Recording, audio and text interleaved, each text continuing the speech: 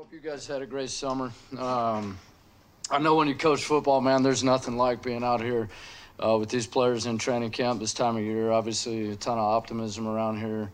Um, and I, I, feel very fortunate. I know I said that a year ago, but being in this building and with the ownership and the people in the front office, obviously the head coach for me is huge. Um, and uh, having the opportunity to do something that you love is is incredible. So. Um, I'm having fun. We're having fun. We got a lot of work to do. Um, as you guys know, the back end of the roster turns over every year, so there's a lot going on out there. But it's all, also an exciting time of year for us competitions going at kicker and long snapper, obviously pretty prominent. Is there a difference between, I don't know if this makes sense, but the difference between picking the best kicker and the best long snapper picking the best um, like unit that works together? That make like, could that break a tie if these two guys Yeah, um, no, I think it's a good question. Uh, is there a difference? Um, yeah, sometimes, you know, this uh, what do they call that? Uh, synergistic effect. Uh, some of the parts is greater than the whole um, with a uh, combination of this three versus that three. I think that's possible. Um, but ultimately, I think usually that happens with the best players. So, yeah. Kickers, I guess, in particular. Yeah, I'm excited about both these guys. Um, I hate it that we had to get rid of Badgley. Um, it's just part of the deal. Um, anytime you're looking to try to upgrade your roster, improve, um, you got to make changes and you got to go through some players to find good players um, sometimes, but I'm really appreciative of what he did for us. I mean, he came in here and saved us an important time last year. Um, so I have a lot of respect for him and uh, think very highly of him.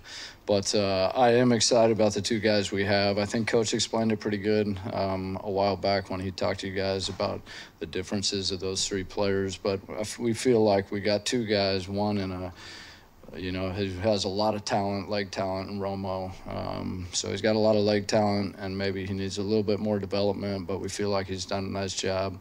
And then a little bit more consistent, but a young player, and uh, in Patterson, who obviously we know a lot about and had.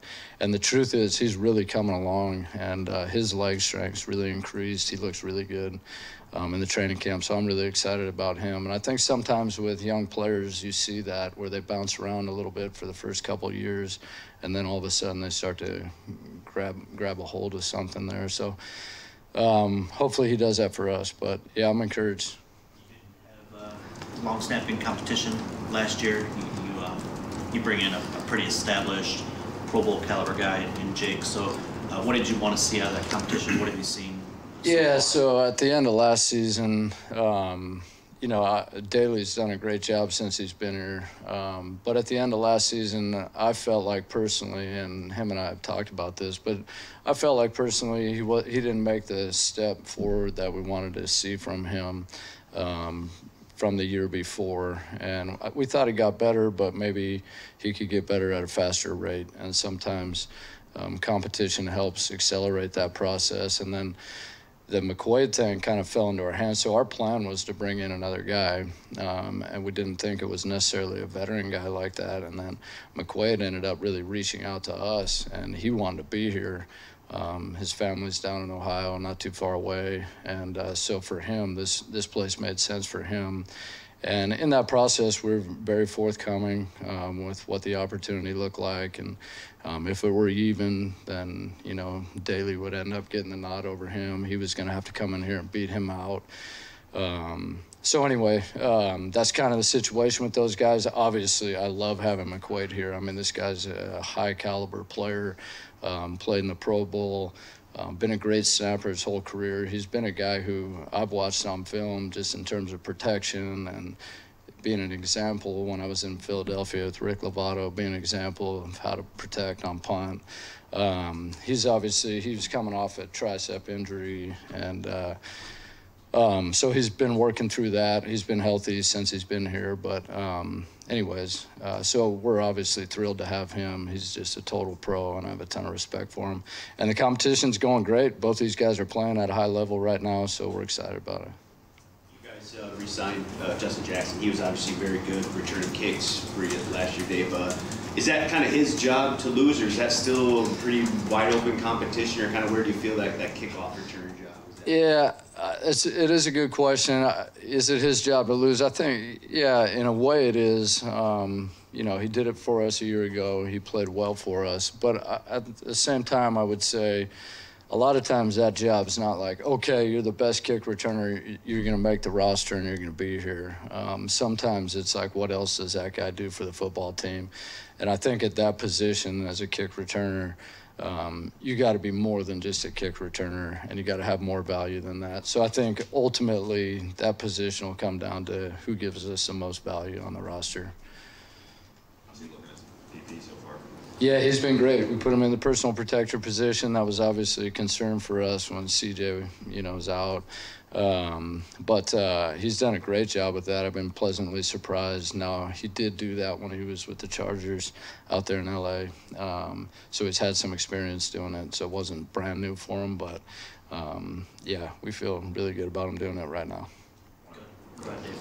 I was just I was just one other kicking question for you on, on identifying Romo, because I know he, you know, didn't kick much in college.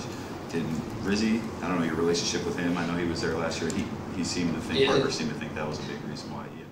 Yeah, no, you know, our uh, our personnel guys upstairs, our pro guys actually came to me about them, and I didn't know a whole lot about them. Um, so we ended up picking them up and bringing them in, and then after the fact, I did hear from Rizzi, but um, it wasn't before, so really it had nothing to do with it. Our, our pro guys do a great job of uh, identifying players. I mean, they're all over it, as good as I've been around. Um, so I'm very grateful for those guys. Gunner's such a prominent position special teams. Um, seems like you've been kind of cycling through a lot of guys that are trying to um, you know, find that right match. You know, can you just characterize what you've seen out of that competition? Any guys kind of standing out as you head into joint practices you want to get a closer look at? Yeah, I, I would I would hold off on saying. I mean, really, that position you're going to find out a lot once we can tackle and finish the play and who can show up down the field. So right now, there's a lot of drill work, and you know, you think you're more excited about one guy than the other, but. Um, it'll help us out this next week when we go against the Giants in practice. That'll be a part of the practice format, uh, getting those guys reps, competitive reps on the outside, and then obviously these preseason games. But right now, you know, it's. I think I said a year ago, you're ju- you're just trying to build a large volume of like a catalog of information on every player. What positions can he play? Can he play gunner? Can he play a wing on punt? Can he be a personal protector? Um, and then, you know, can he play the front line on kickoff return? Can he play in the back end? And really, because what ha- what happens is when the roster gets cut down, then it's like, okay, now these are the guys we have. How are we going to play them, and how can we make the best unit that we can make? And it doesn't mean they're always playing the position that would be best for the individual to play. It just means that you know, with the 11 guys we have, this will make the best group that we can make. So, for me right now, a lot of it's like just trying to find out what what can these guys do, what do they do best, um, what position should we put them in. You know, when we end up being told these are the guys you got, figure it out. In the uh, kickoff kicking battle, how much do you weigh the kickoff itself rather than field goals? Yeah, that's a, it is a great question because that does kind of go back even to the Badgley decision. That that would be not his strength, um, and it's hard because you know you got to. We have a punter who can kick off, so that's a great option for us, and we're fortunate to have that with Fox, and he does a great job with that. And I think ultimately, as a coach, for me, when it comes down to game day, we're gonna make we're gonna play the best players, the guys who help us win the most. So if that means Fox is kicking off, that's great. But I think you hate being backed into a corner where if something happened to Fox or he wasn't feeling great or he was fatigued and he didn't want to put his leg in a stressful position, then you want to take that kickoff off him. Well, then who's doing it? Well, if you don't have a kicker who can kick off, now he's forced to do it. Now you're pushing him through that. Now something happens to him. Now you're really in trouble. Or something happens to him you have a kicker on the roster, he can't kick off. You're looking for a punter, but now your punter's got to kick off also. So the guy you bring in as a punter's got to kick off, and now it limits you um, as to who you select as a punter.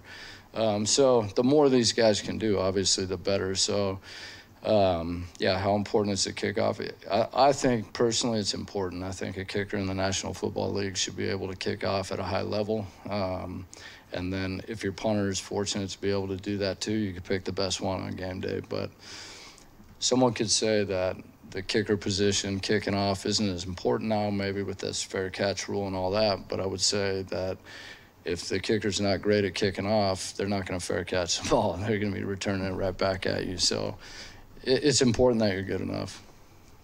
Can you talk about the value of having a veteran like Jalen Reeves-Maybin back with the Lions and, and contributing on the special teams? I think everybody in this building feels great about having JRM back here. I mean, he's a great player. He's a great person.